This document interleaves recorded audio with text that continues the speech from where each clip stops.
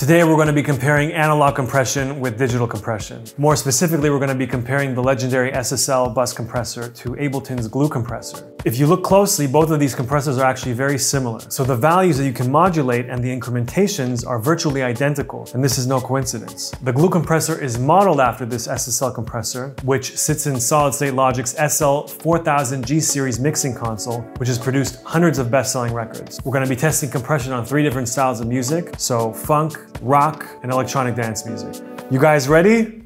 Let's begin.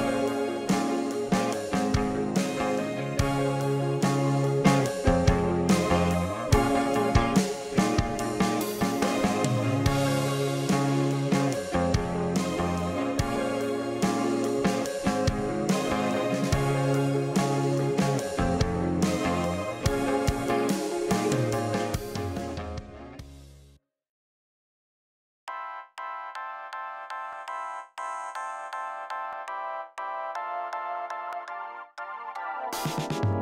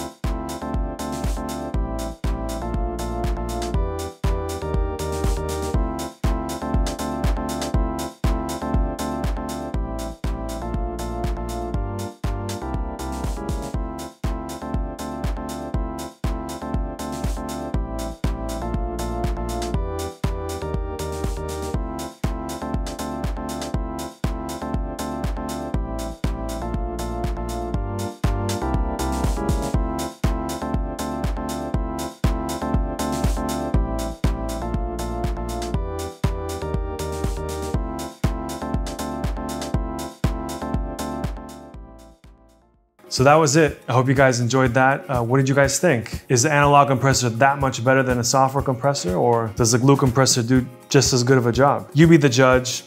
Let me know in the comments below. See you guys next video.